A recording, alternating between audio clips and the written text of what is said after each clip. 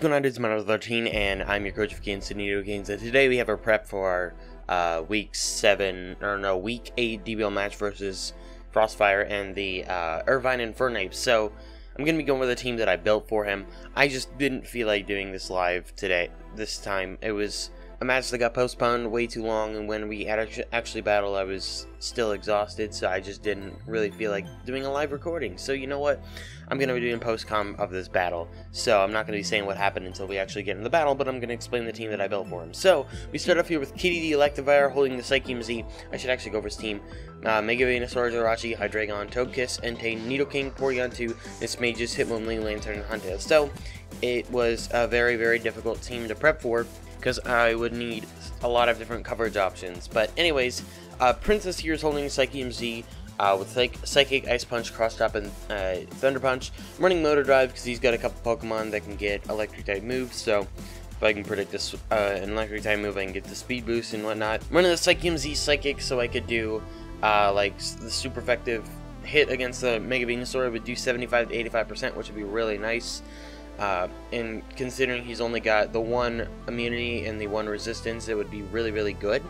So that's why I decided to run that. Ice Punch just uh, mainly for Hydreigon, I suppose, and Togekiss. Uh, even though Thunder Punch would hit Togekiss better. Uh, it could also hit Nidoking, but I think Psychic would hit Nidoking better. So, pretty cool stuff. Cross Chop mainly for the Porygon 2, because that was, I guess, I don't know. Porygon 2 is kind of a, an irritating wall, so you know if I can get rid of it with Cross Chop, that'd be nice. Hydreigon takes a lot from it too. Jirachi doesn't want to take it either. And the Thunder Punch because it's stab and it uh, hits. He has no immunity. He's one immunity being uh, Nidoking and Lanturn if it brings Volt Absorb. So, uh, but otherwise, Electricity just hits decently on his entire team. We're running a max attack, max speed nature. For one special attack to boost Psychic a little more with a uh, hasty nature so I can boost speed and not lose any attack. So, Pretty cool stuff. Next up, we have Velar here, who hasn't come to a battle in a while, holding Assault Vest with Magnet Pull because of Jirachi, uh, Earthquake Explosion, Thunder Punch, and Stone Edge. So the reason I'm doing this is if I can get Velar in on the need on the Jirachi, this thing can't, Jirachi can't do a ton to Velar, uh, so it works out very nicely for for me because I can keep the thing in there and I hit it with explosion and whatnot, or not explosion, earthquake. Explosion wouldn't do much to it, but yeah, get a few earthquakes off it. It just works well against his entire team because he's only got two Pokemon that avoid it. Actually, Hydreigon Togekiss. I don't remember if Mismagius has Levitate, but uh, anyway, yeah, so it just works well as an entire team. Explosion hits everything but Mismagius. Uh, and he has no resistances except for Jirachi, which is really, really cool.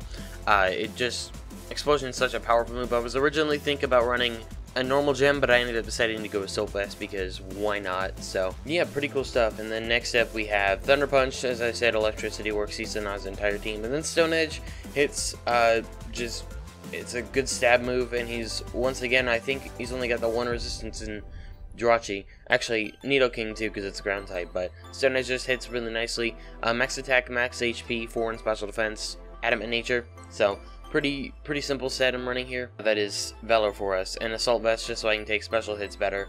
Um, so you know. Anyways, next up we have Rem the Gardevoir, holding the Gardevoirite with uh, Hyper Voice, Psychic, Hidden Power Fire, and Thunderbolt. Hyper Voice, once again, is just a good move. It hits behind substitutes, which could help in uh, certain situations.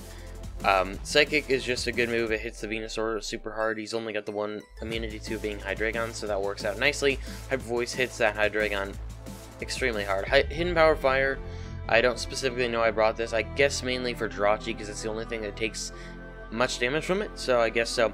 And Thunderbolt for uh, Huntail and Togekiss, uh, Lanturn if it's not Volt Absorb, so uh, pretty cool stuff. We're running a max speed, max special attack set with Intimidator and 4 in HP, just cuz. So, yeah, pretty cool stuff. Next up, we have Toothpick the Mudsdale holding the Assault Vest with Inner Focus because of Jirachi, Earthquake, Facade, Close Combat, and Heavy Slams. Obviously, Jirachi has Serene Grace, which means it doubles the power of flinching moves. Actually, Togekiss has it too. So having Inner Focus would keep uh, Mudsdale here from flinching, so I, I, I could sit in here on whatever it wants to do, and um, I don't know what happened for the reason that the natures got covered up down at the bottom, but you can see that. It's just really weird. I apologize for that. I Because I I don't know. It doesn't even matter at this point. It might have changed per Pokemon. Yeah, it did, for some reason. Oh yeah, that's why. Because of this thing here, the Smogon analysis thing. Whatever.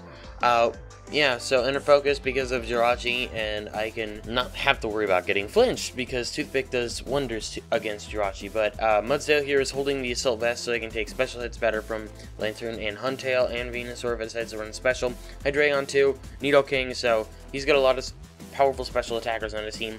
Earthquake, I'm pretty sure Miss just gets Earthquake, so Earthquake doesn't affect that, as well as Hydreigon and Togekiss. Facade is just in case he wants to uh, use a burn if he wants to burn me with Mismagius or something like that, or Sacred Fire Entei, I can have a move that does pretty deep, pretty good damage still. Uh, close combat just hits the Hydreigon, I suppose. Uh, Porygon 2 does a ton of damage to that, so pretty cool stuff. And then Heavy Slam just because it's a, a, good move because I out I outweigh a lot of his Pokemon. I think it, everything except for Entei I outweigh by a lot, so I'd use Earthquake against Entei anyway, but Anyways, yeah, so we're rocking max physical attack, max HP with 4 and special defense, adamant nature, so same exact set as Velar, except for the moves are different. And then next up we have Casper the Umbreon, also running inner focus because Jirachi with lefties, foul play, heal bell, wish protect. So I didn't want to have to bring a typical one, but uh, this Umbreon works a lot better for my team. Uh, for this team, it, it just it helps me out better. I don't know, it just works fairly decently. Once again, foul play he only has actually one resistance, being Hydreigons and Togekiss, excuse me. So uh, Foul Play works really nicely against his entire team, especially against those good physical attackers. Forgot about Hitmonlee. Uh, Heal Bell just is good to get rid of burns, like if Toothpick gets burned, even though Facade does a lot of damage, uh, it can't touch the the, the Mismagius, so it'd be good to get the Heal Bell off. Uh, Wish, so I can get some health back and swap into some Pokemon, and then Protect, so I can get uh, Wish uh, wish health back here on Casper. We're rocking a max HP set with 192 in defense, 56 in special defense, and then uh, an adamant nature and 8 in attack, so foul play does a little bit more damage.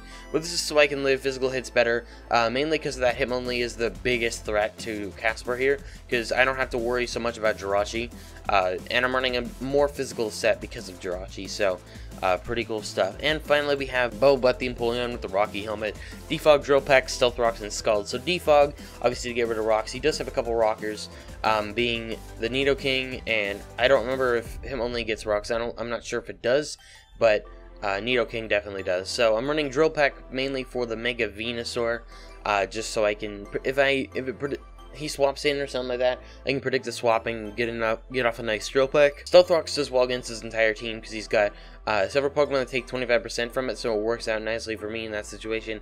And Scald because just, just a good move, and he only would have the one immunity in the Lanturn, so pretty cool stuff. Um, we're, we're rocking a very strange set. We're rocking 224 HP, uh, 192 special defense, 8 in special attack, 76 in defense, and 8 in attack, so that I can uh, do a little bit more damage to both Drill Peck and Scald, but I can also take either hits on either side of the uh, either side of the line, so it works out nicely. We're rocking a serious nature, so I don't lower my speed.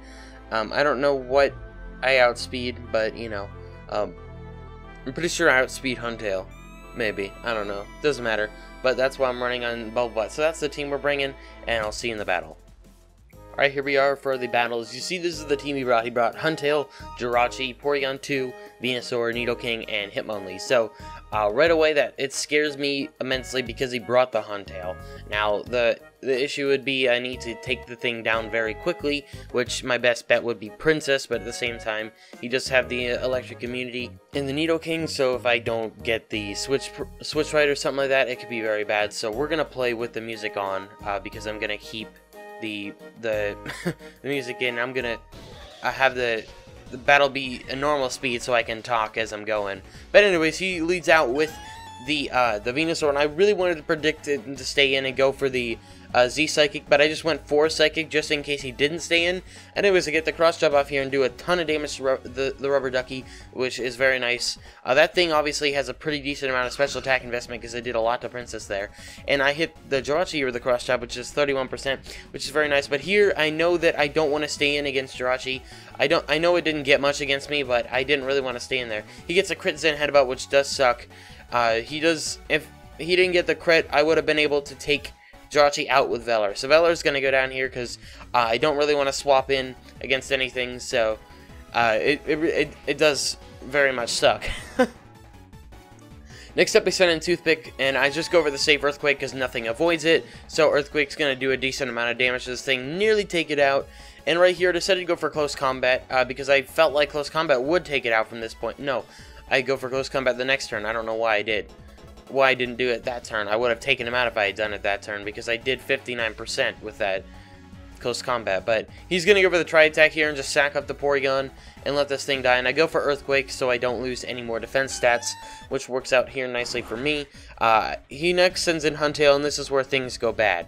So he's going to set up the substitute, and I'm going to go for Earthquake, so I'm going to be able to get rid of his subs. But the issue is I don't want to stay in here, and he gets up the Shell Smash, and I was really hoping he wasn't carrying like uh, White Herb, but he was. And Earthquake nearly takes him out, now down to 62%. And as you can guess, I couldn't do anything from here because I screwed up and I let this thing sit up. Told you that it was very scary having him bring the Huntail, but he baton passes in a Nidoking. And I went for Drill Peck because I actually expected the, the Venusaur to come out there. And he's just going to go for Earth Power and take out Bubble Butt. So Nidoking ends up sweeping the rest of my squad. So uh, Nidoking's actually another Pokemon I wish I had on the team. Um, I want to hopefully want to draft it ne next season. I had to drop it season two because I didn't want to drop anything else. But uh, he's just gonna literally take out the rest of my squad with the Needle Nidoking, and it really sucked. I shouldn't have let the thing set up, but it's not like not much I could do. It's just it sucks really. So, uh, it's just unfortunate because I really needed to to beat him, and I I just didn't. It was not a good match on my part, and I didn't. it just didn't do well. So it's it's one of those things. I'm just it's something about league play. It just and it, it wasn't a good time for me to battle. Like, I just didn't, it was not a good time to do anything for me. So it was just, I just didn't even care.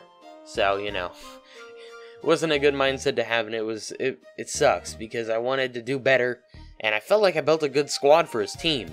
I just, I did, I, I'm not gonna lie, I didn't expect the Huntail because I had several counters to the Huntail. I didn't expect him to bring it, so I didn't prep accordingly for it and I wasn't able to get my heavy hitter in on it. I should have done that immediately um, when he sent in the Huntail. I mean, it wouldn't have mattered, actually. Because I couldn't have outsped the thing. That's the issue. Is that none of my Pokemon could outspeed it because I wasn't running a Scarf for this week. And even still, I'm not even sure I could have outsped it with a Scarf because Huntail, even with base 50 speed, after it gets the, like, the double boost, it's, it's hard to, like, I don't know. it's hard to get past it. So anyways, guys, I really enjoyed the battle. You did, especially in the description below, you'll find a link to the Debug Twitter, as well as Frostfire's channel, Beazwood. So thanks so much for watching, I'll talk to you all later.